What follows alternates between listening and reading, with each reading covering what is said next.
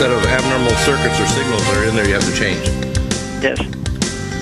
Welcome back to the NutriMedical Report, and uh, we're going to have a, a, remarkable discussion today with the uh, academic, amazing guy, Dr. Bob Thiel, who's also a nutritional expert, but he has got and done an amazing analysis. He's done so many different books that are up on uh, his website, cogwriter, C-O-G-W-R-I-T-E-R dot com.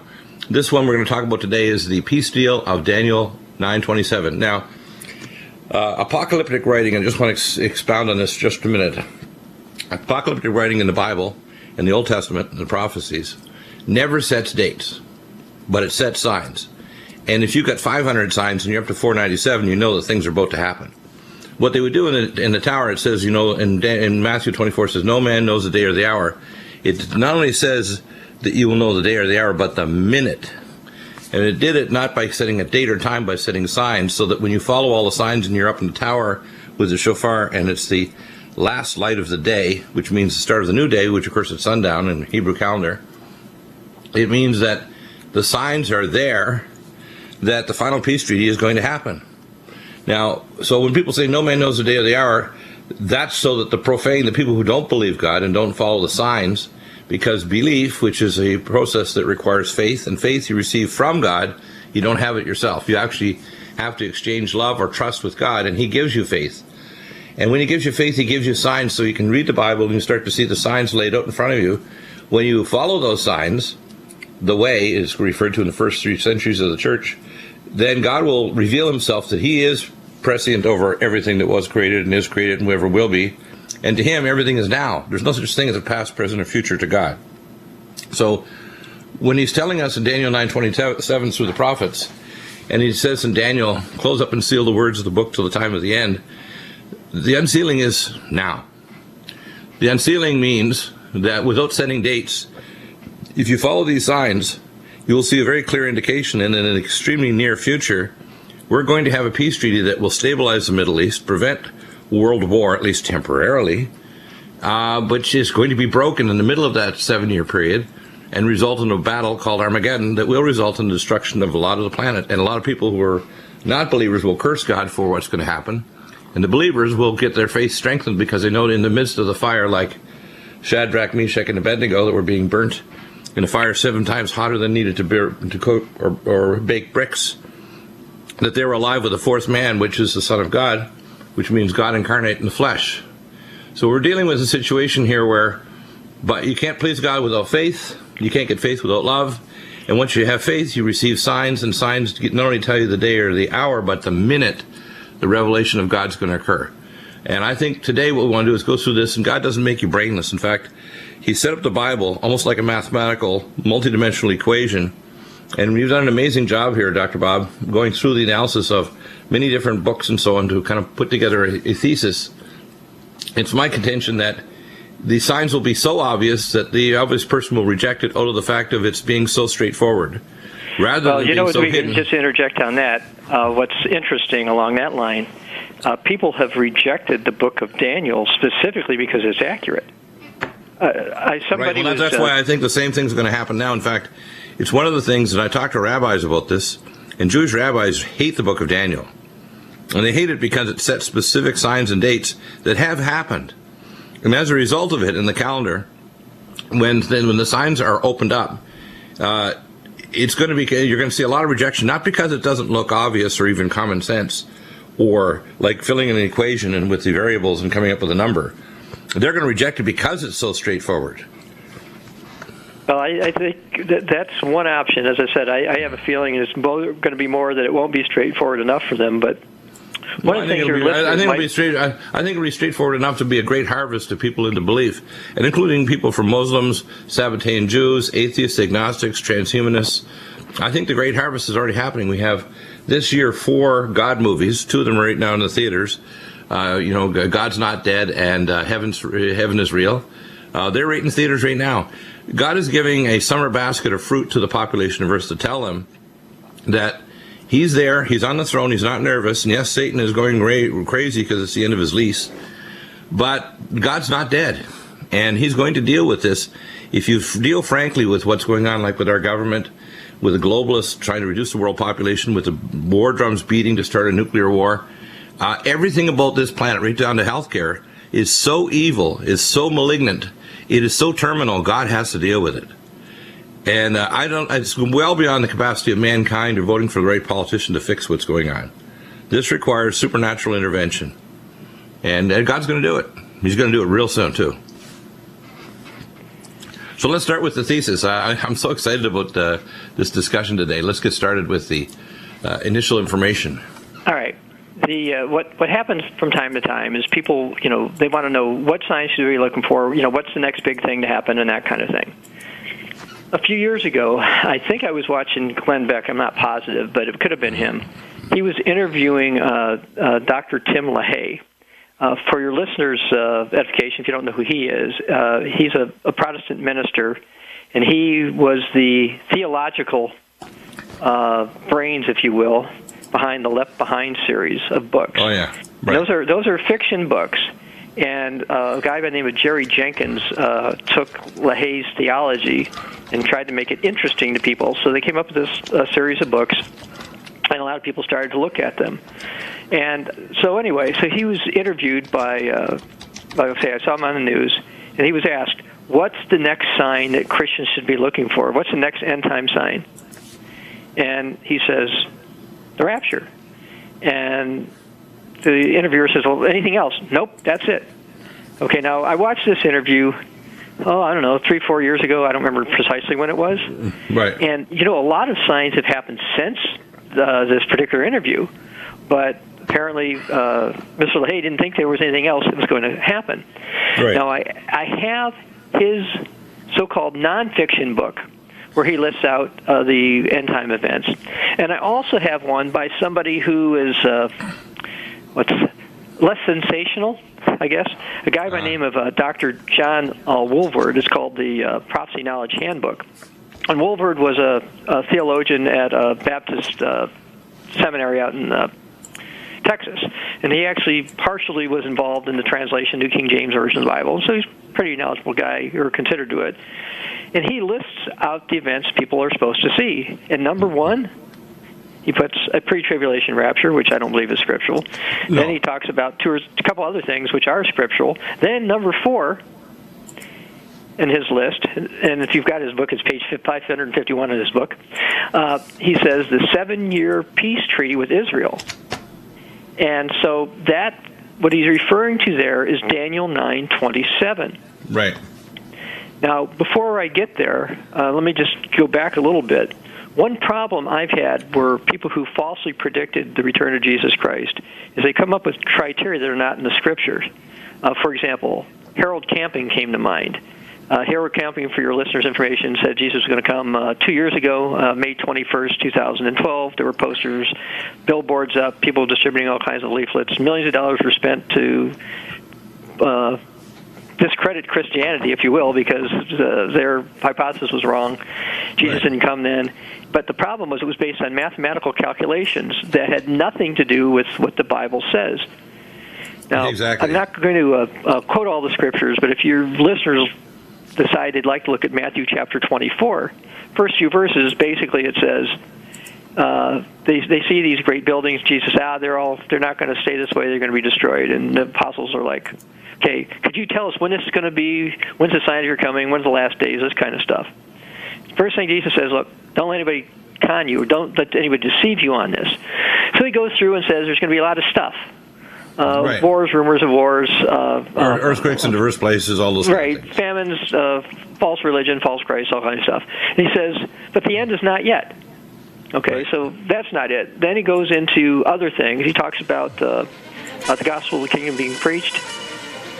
And as, as I can hear that background noise, I'm going to explain why Daniel 9:27 is consistent with what Jesus talked about in Matthew 24 when we come back. Exactly, and why the book is rejected by both Jews and in many ways obliquely by many Christians. Back in a moment.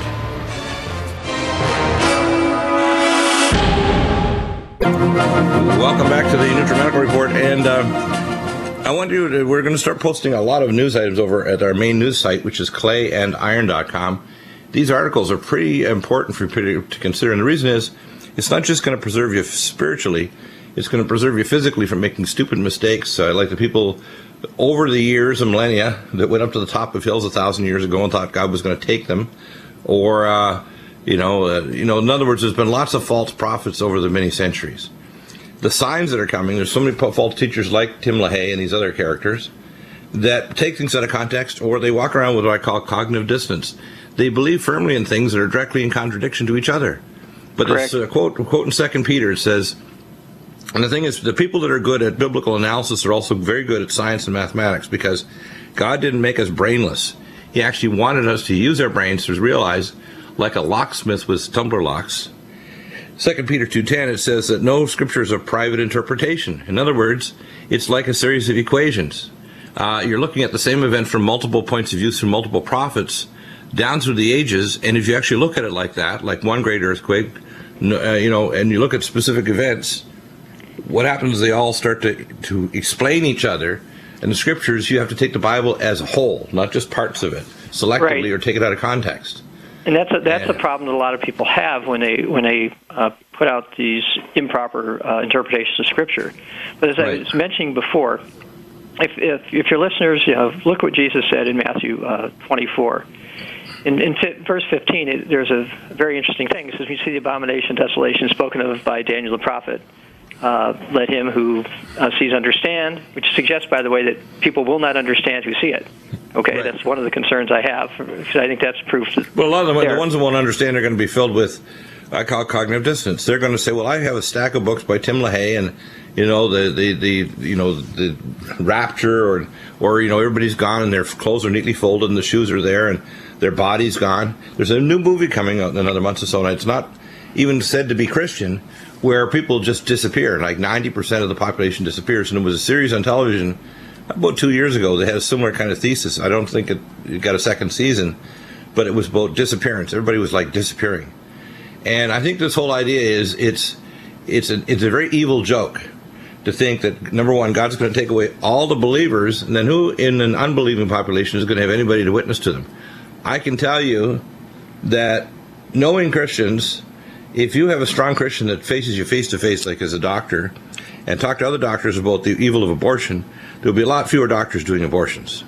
If you don't have a Christian witness in front of you, you're not going to get saved. You need to have a physical person who's willing to stretch out and put themselves in unease, socially and otherwise, to tell you the truth, even though it will offend you and make you, your skin crawl and make you feel bad about yourself. And that's the problem is the idea of rapture, number one, has God has to says the world the world shall continue on its forever. Well, how can it continue when there's no believers? Because the unbelievers are the goats. They're cast into the lake of fire. There's no one left if you rapture everybody and then you cast everybody who's unsaved into the lake of fire. There's not a human being left on the planet. And what are you gonna do? Reassign people to be reborn to come to earth? It just doesn't make sense. It's like this is again another illogical contradiction that doesn't make sense. Now, I told one lady in Dallas back in 1999, I said, Well, you know, I started to try to explain this rapture confusion. And I said, Here's the rapture. I said, If you happen to be here in Houston at ground zero and a nuke hits you and you say, Hello, Jesus, that's the rapture. Uh, I said, you know, there's no such thing as a, as a quote rapture where all the good people are taken out and everybody evil just gets even worse. Yeah, the, said- the, the pre. Um, I, w- I wasn't going to cover this now, but I will right now. In my Yeah. hand here, I have a book I bought by Tim LaHaye and Jerry Jenkins Right. called "Are We Living in the End Times?" Right. Now, this is supposed to be their uh, nonfiction book. Right. Okay, and basically, and I've just found a page here on. Uh, in this book, they list scriptures. Uh, this is on page 99 of what they call rapture passages, which they say uh, are not to do with the second coming of Jesus Christ. They have two sets of pass- passages: rapture passages and second coming passages. Well, anyway, in my uh, my book we talked about years ago, my 2012 book, in Appendix A, I did something a little unique. All they did is list the scriptures. I'll just well, let me just read a couple of them. They just say, you know, John 14, 1 through 3, Romans 8, 19, Mm. Right. blah, blah, blah. So they, they list like Right. 21 or so scriptures. So people look at this, say, oh, there must be all this proof because look at they list all the scriptures. Well, guess what? Right. If they would have cited the scriptures and quoted them, people would say, wait a second, this isn't saying that at all. And so. I explained that away uh, uh, years ago. Look, I think it, you know, carnally speaking, if, if God's plan was that you know before the Great Tribulation, uh, Christians get raptured away and we don't have to deal with any of this, hey, you know that sounds really cool to me. It's not the plan, but it sounds really cool. Okay. Problem is because people are going to believe things such as uh, a non-existent pre-tribulation rapture, when it doesn't happen, they're going to discount uh, the deal of Daniel uh, 9:27. I, I agree. I think that's the main breaker, deal breaker. Even if it's logical, it's right in their face like a baseball bat hitting the side of their head. They're just not going to get it, even if it's so obvious that a child with, like my daughter with Down syndrome, 21, will understand it very plainly and simply because she's simple, she's a child. And someone who doesn't have cognitive dissonance, there's one thing about children with Down syndrome. They may be slow, their brains are not capable, because they're gestaltic, of having any cognitive dissonance. If they love you, it's in genuine 100%. If you tell them something that contradicts something else, they'll tell you instantly, which is in some ways, they share a characteristic that's similar to people that have what we call genius level intelligence. There's a qualitative difference that, believe it or not, is in the same in children that are mentally slow and people that are genius. And the average person can walk around with so many conflicting ideas that completely contradict each other, and yet they think it's fine. They'll defend it to their death, even if it's something that contradicts everything else they believe. It's amazing.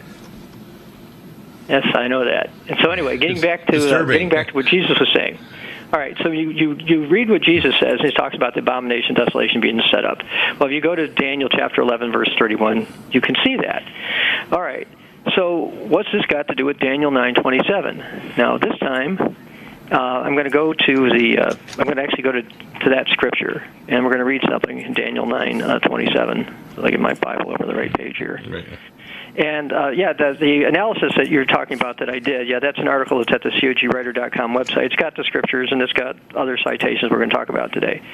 Anyway, right. and by the way, for your listeners, we don't, we're not selling anything. We're not no, trying to charge you money or anything. Like that. no, we're, we're right. trying to. I mean, we want people to ask better questions and start thinking about yeah. these things, so don't put their spiritual future or their physical future in jeopardy from stupid decisions based on false prophets and liars. Yeah. Well, anyway, getting into Daniel 9:27, um, I'm going to read the whole verse. It says, "Then he shall confirm a covenant." Uh, which is uh, some people say it's a treaty, peace treaty. It could be all it's some kind of an agreement uh, with many for a week, but in the middle of the week, and now let's talk about this week first. Uh, this is understood to be a prophetic week of seven years. Right. Now, you say, who understands this? even the Catholic bishop and theologian uh, Hippolytus uh, in the third century, so around 210 AD, recognized that that's what this was talking about. It's a Hebrew week, which means it has to be 360 day years, and it has to start by rabbinic law on Sukkot, right after a Shemitah year. That's by rabbinic law.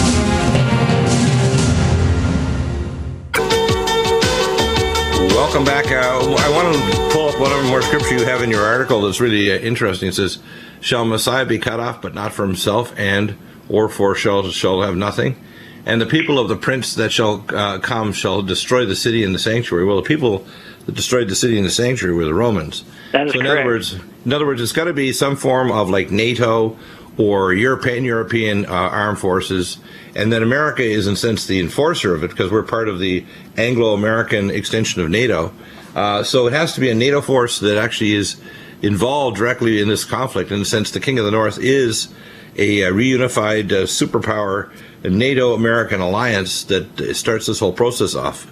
And yeah, the, uh, right, the, the, the, person there, uh, just for your listeners to step back on one thing, because sometimes you and I make assumptions people will know about things, and, and that is, we talk. To this guy is called a prince in uh, Daniel nine twenty six, and princes are the people who become kings, by the way. Right. So the guy's not the top dog, and most likely he'll have some involvement with NATO. And I'll skip over some of what you said, but just briefly say something I mentioned to you over the uh, uh, during the break. That is, I do believe that the Great Tribulation, the high probability is going to start under the guise of a so-called NATO exercise, but that's an old, another matter. Yeah, I agree. I agree. In fact, yeah. it's supposed to the NATO exercise is next month in western Ukraine. Well, right now I'd like to go back to the, the, the passage that uh, we were talking about, and that's this one in Daniel 9:27. So just before the break, I, I started to read that it talked about a deal that's made for a week that's confirmed. It's confirmed for a week, and then, as I said, uh, going back at least as far as the Catholic theologian uh, and saint uh, Bishop uh, Hippolytus, and he wrote around 210, 220 AD or so. He said this is a seven-year deal. So this was not a brand new concept. So, um, and any Catholic listeners out there, just want them to know this is not a new concept. This is not. Uh, and the Protestants, a lot of a lot of Protestants believe it as well, and a lot of and uh, people in the Church of God believe it. So, so there's a there's a, but not everybody does, and that's one right. of the reasons why I don't think people are going to believe it. But we'll go further here. So anyway, so getting into this, it says in the middle of the week he's going to bring an end to the sacrifice and offering, and on the wing of abomination shall be one who makes desolate, even until the consummation which is determined is poured out on the desolate. Say, okay, he's talking about abomination and desolation. When does that happen? Well, if you go to Daniel 11:31, this guy is now a king, by the way, uh, and he's called the king of the north. Several several portions of this particular uh, chapter of Daniel 11. So the prince is now a king. And in verse 31, we find out that forces are going to be mustered by him. He's going to defile the sanctuary fortress, and then they're going to take away the daily sacrifices, put there the abomination of desolation. And the reason this is important, when people are trying to understand, you know, what's the significant thing to look for in prophecy? Well, Jesus said, when you see this abomination set up that Daniel warned about, okay, it's time to flee. The Great Tribulation starts a couple of verses later in Matthew. And so this is a big deal. So the question is, what precedes verse 31? And what precedes verse 31 is going to be this deal of Daniel 9:27. Yeah, what's in the deal though? The, the, the one thing I'd like to clarify to people is the abomination that desolates, and most people don't see this, because the blood of Jesus completely paid the price for all sin on earth forever. The abomination is the blood sacrifice on the Temple Mount that can only occur first day on Sukkot. And the desolation means that as part of the deal, they have to desolate remove Jews from part of the land and partition the land, which is proscribed in Genesis 12:3. So we're seeing basically a start of blood sacrifice by people who reject Messiah, who accept the partitioning of the land as a means to bring peace and the setting up of a Palestinian state. That's the two key elements you have to have in order for this to be an abomination that desolates. Well, historically, and that's where some people get a little bit confused about this. And and one thing about the book of Daniel, uh, I saw some negative things written about me today on the internet because I quoted the book of Daniel yesterday in an article I wrote, basically making fun of me for actually believing that the Bible is true, and picking on me, saying that uh, the book of Daniel wasn't written until the time of the Maccabees, and that's the reason that it's so accurate because all these things already happened and therefore, uh, if God didn't inspire it, it's all just a big con. Well, these are academic midgets that like ad hominem attacks rather than use of logic, so they need to be dismissed. Yes. Right. So they so they, they they dismissed my quoting the book of Daniel and my reliance on the book of Daniel, and I'm hoping your listeners. Well, well, uh, rabbinic Jews even know that. They, that's why they specifically have rabbinical writings against Daniel because they prescribe against talking about Daniel or even about the wise men because it throws everything into gear that shows that the exact time of Messiah's first arrival, Yeshua, and uh, it also shows the time of the resolution of the two houses of Israel, uh, the house of Joseph or Ephraim and the house of Judah, at the time of the end by this covenant, which God brings closure. And it, it, the thing that I find most amazing is God is so straightforward that if you're honest with God, He'll tell you straight up. If you're dishonest with God, He'll confuse you on purpose. He'll allow you to deceive yourself. Right. And um, getting back to, I'm trying to figure out which group to talk about. I think right now, let's. I'd like to stick with the Catholic side for a moment. Okay. I mentioned Hippolytus. Well, the uh, Catholic saint and doctor of the Church, Jerome, he wrote that correctly. He says Hippolytus has his final week at the end of the world, divides it in the period for Elijah and the period of the Antichrist, and so he says the sacrifice uh, and offering are going to cease, and Christ is going to come and slay the wicked one, and all that kind of stuff. So Jerome understood that this was an end time prophecy. And there was another Catholic uh, bishop by the name of Apollinaris who basically said the same thing. He said, "This is the time uh, uh, we're going to see uh, we're going to see the Antichrist power, the beast power rise up." And that's what this has to do with. But some other Catholic writers didn't share that view. And so when I was reading Jerome, he's like, well, some say this and some say that. Well, now we've got the situation where some of the Catholics have adopted a position which is consistent with some of the Protestants, which is that um, we'll ignore people like Tim LaHaye, uh, Jerry Jenkins, and uh, John Walvoord who at least believe that this has an end time application. A lot of people believe it was already fulfilled. And I'm going to read from Pre- preterism, right? It's called preterism. Yes, preterism. and so I'm going to read from a. Uh, this guy's a Jesuit priest. His name is William Kurz. Uh, the book has an imprimatur on it from a Catholic bishop. It's called "What's the Bible Say About End Times?" And he says Daniel 27 seems to apply directly to circumstances related to Emperor Antiochus and the Maccabees. Okay, now I want to comment on that for a second. So what he did there was uh, not only did he stop the Jewish sacrifice, he put his pagan god into the uh, into the region. So that's something we may see happening uh, uh, after three and a half years after the, the deal is broken. And so it says halfway through the period, the emperor put out put an end to the temple sacrifices. He profaned the temple with the abomination does desolate, which was basically something to do with like the pagan god Zeus. However, after three and a half years after he profaned the temple, he died.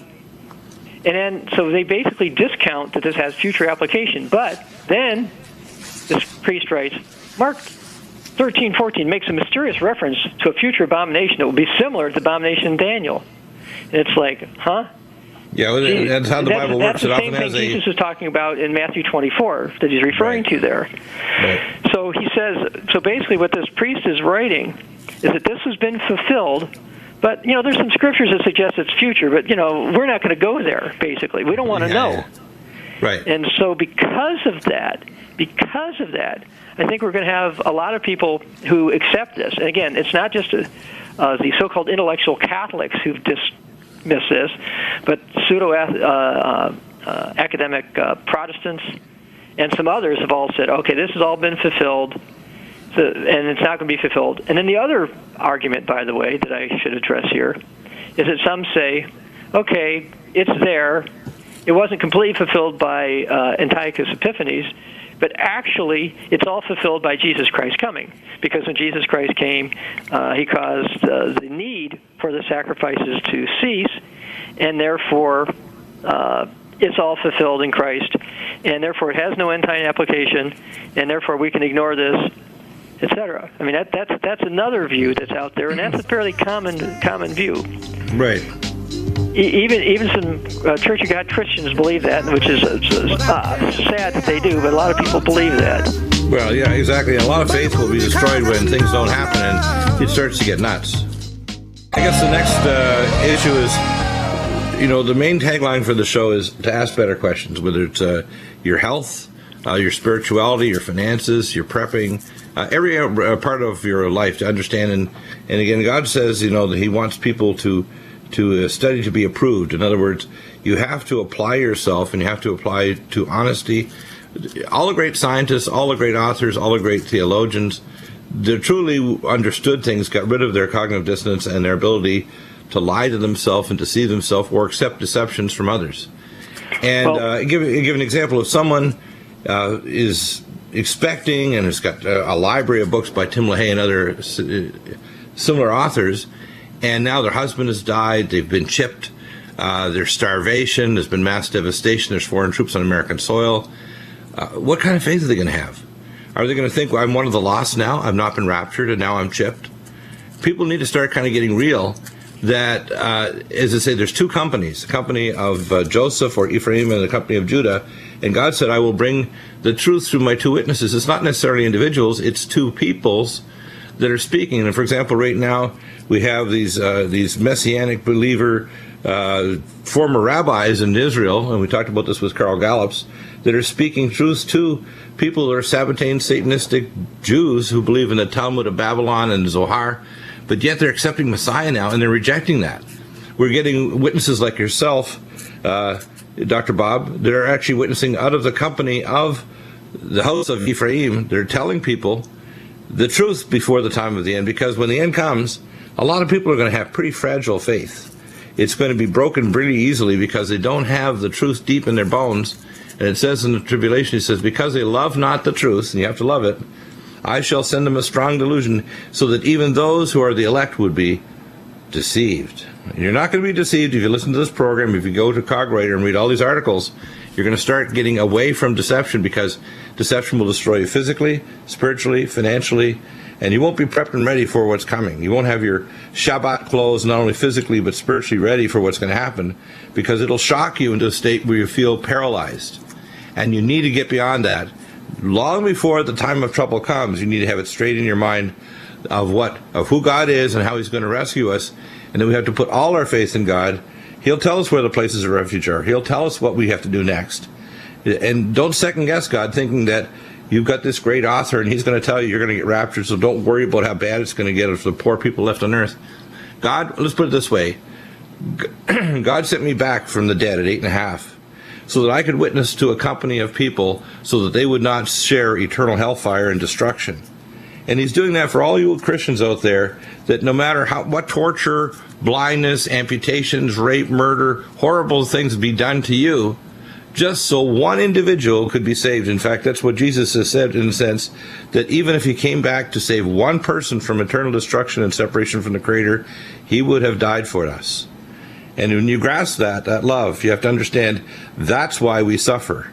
Because our blood is joined to Jesus' blood when we hear and do his will. And it's a very important thing you have to understand that because if we don't get it clear in our mind that we have to love the truth, we're going to suffer and we're going to not be the witnesses we need to be to save those from not only physical destruction, but spiritual death, the death of the soul. That's how important yeah, the, it is. Yeah, what, what a lot of people uh, seem to misconstrue is that they seem to think as long as they're okay themselves, this is this is fine. But if you read the scriptures, Jesus says to pray that you'll be counted worthy to escape these things and stand before the Son of Man. And you've got the situation where uh, God expects people to support the work of getting the truth out there. And a lot of people don't realize that. And actually, and uh, I'll just step back for a second. I we talked about Matthew 24:15. It says, "When you see the abomination, desolation spoken by Daniel the prophet." And again, that ends up tying with uh, Daniel 9:27. So for your listeners, just want to know, okay, what's the next thing to be looking for? That's one of them. But interestingly, the other thing Jesus says, is the gospel of the kingdom is going to be preached in all the world as a witness, and the end is going to come. And people who aren't involved in uh, fulfilling Matthew 20:14, uh, I, I believe, will not be counted worthy to escape all things. If you read in the book of Revelation, and I've seen rapturous quote a passage in uh, uh, Revelation 3:10, the Church of Philadelphia, because you've kept my uh, uh, patience and my word to endure, I'm going to keep you from the hour of trial that's going to come on the whole world to try the world. And they say, see, see, this means Christians are going to be raptured. No. And it doesn't mean that at all. It means that some Christians, because you read Revelation 2 and 3, there are Ephesus type Christians, Sardis type Christians, Pergamos Christians, Thyatirans, uh, Sardisians, uh, uh, uh, Laodiceans, Philadelphians.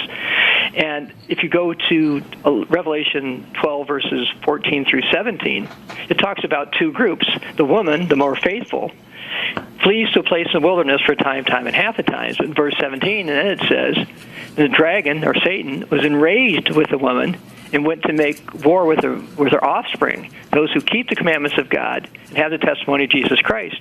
Now, oddly, Protestants, I've seen them say, oh, this is talking about converted Jews. No, it's talking about real Christians. Right. They they call it converted Jews because it says, look, they keep the the commandments of God and have the testimony of Jesus Christ. When they have the testimony of Jesus Christ, everybody knows, okay, they got to be Christians. So a lot of Protestants are like, oh, these must be Jews because Protestant theologians, Theological. many of them do not believe they need to keep commandments. Even though the average Protestant, I think, thinks they're they're in, they're in effect. I've read the stuff yeah. that Protestant theologians like, oh no, those are all nailed to the cross, and it's like, oh yeah, well, early church all believed them.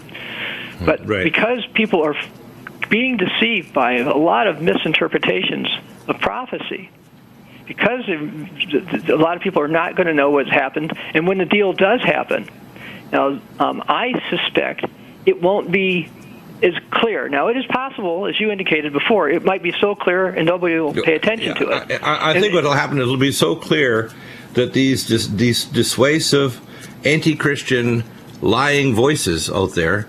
But it says uh, he's going to basically God said that I will seal up the sky so there shall be no rain during the time of the two witnesses. And what he's really saying is there's going to be two groups of people that are going to speak truth to the Jews and to real Christians during the time of the end. And these false prophets, he's going to silence them. So anybody who checks their spirit, because you can always check your spirit in prayer, are going to know the ring of truth from the from what's coming, and uh, the population is not prepared to suffer. The population is not prepared for war. The population is not prepared for devaluation of the dollar or forced vaccines or airborne plagues. They're prepared for nothing. The church is distracted. The church is, is out of touch with reality. Uh, I'm not going to tell you what church it was, but I recently heard a quote that says the pastor said, We're the welcoming party. We don't understand prophecy, and we're not going to get, go there. That's the typical response now to much of the Christian church, the big megachurches. They are an abomination. They're not part of the collective of what I call believers. You are not a Christian. It is not a noun, it's a verb. If you're a Christian, you're a witness, which means you're going to witness with your blood, your life, your treasure, your time, everything for God. And not just some. God doesn't want 10 a tithe of you, He wants 100%. Well, between one fifth and one third of the Bible is prophecy.